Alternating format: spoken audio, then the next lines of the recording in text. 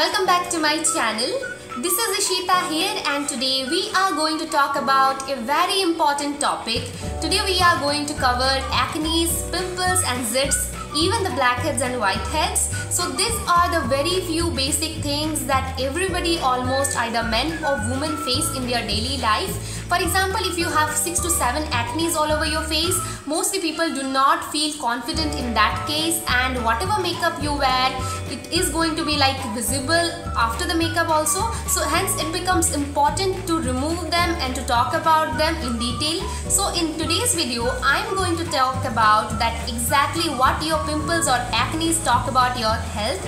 For example, if you are getting acne and pimples over this certain area and you are again getting pimples or acne over this area, then there must be two different things causing them. For example, here almost the pimples or acne comes because of dandruff or certain other factors whereas here it can be hormonal. So we have to talk about that in details. But before I start these are the very basic things. Almost there are many more factors that are linked to it. I'll try to cover almost all the areas so if you have any kind of queries regarding this then you can write to me in the comment section below so let's get started so to exactly explain you that where is the reason and what I am talking about, I'm going to use this lip liner. So by that I'm going to mark out the areas on my face so that it becomes much more easier to understand for you. So let's get started regarding our forehead and why or what can cause pimples or acne in that individual area. So first of all, I'm going to divide my forehead in two sections. By that I mean the upper forehead and the lower forehead. So first of all, this is the reason. Oops, it's breaking down.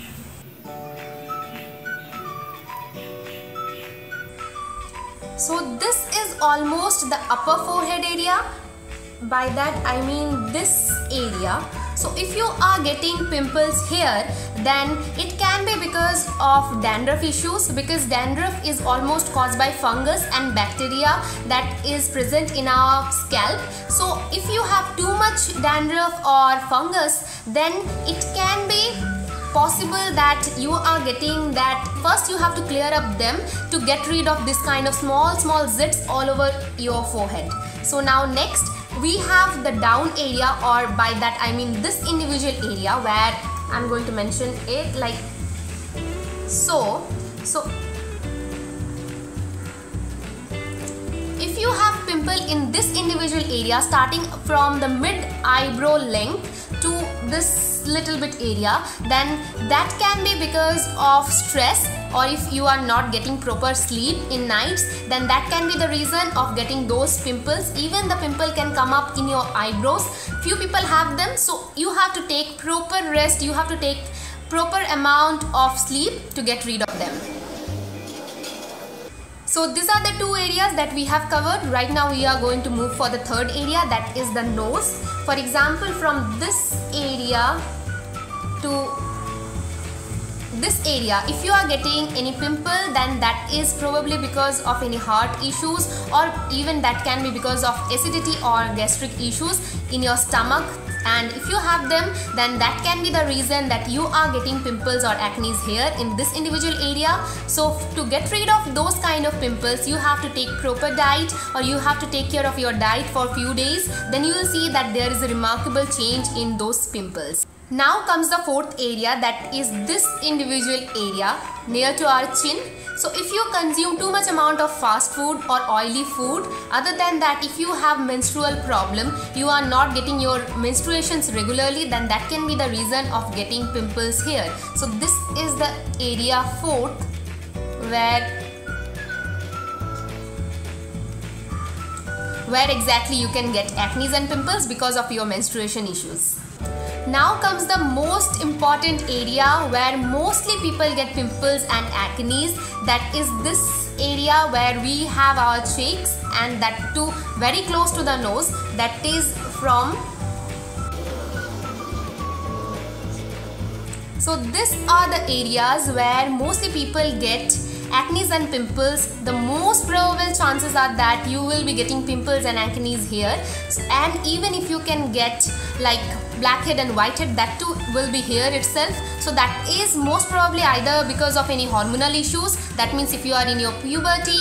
Other than that it can be because of not clearing your makeup. Other than that if you have any kind of allergies that means then any kind of allergy for example if you are allergic to some product if you are using a cosmetic that doesn't suit your skin other than that if you are allergic to sun that can be possible that you are getting pimples or acne here in this individual area. So mostly people get acne and pimples here. So you have to take care of this area very very well.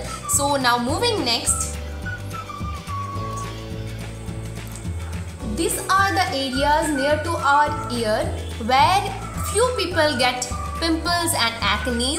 If you are continuously stuck to your phone and you are using that for long hours by that i mean if you are using your phone for more than 2 to 3 hours there are people those who use them like that. So there are chances that you will get acne and pimples here because continuously holding the phone here can cause friction between your cell phone and your skin. That can be the reason that you are getting pimples or acne in this individual area or this hairy area so these are the six areas where all you can get pimples and acne and these are the few things that can cause them. So other than that there can be few more things which can cause acne and pimples in your body so if you are in your 13 to 19 that means if you are in your puberty then you can face this kind of problem because of hormonal imbalances going on in your body. So other than that women in their 45 to 50s again face this kind of problem because of menopause because mostly in women in that period of time the menstruation cycle stops. Other than that if you are not regularly cleaning your face that means that if in night before sleeping you are not clearing up the makeup then that can be a reason. Other than that if you are not continuously cleaning that makeup brushes and your beauty blenders then that can be few more things that can cause acne and pimples. So this was today's video. If you want me to talk about any such thing in detail then please do let me know in the comment section below. If you have some serious sort of issues regarding pimples and acne and you are not confident enough to talk in public then my email id will be given in the description box. You can send me those individual areas pics or even you can write to me in my email. So thank you so much for watching this video. Make sure to like this video. Subscribe to my channel if you are a new viewer. Thank you. Bye bye take care of yourself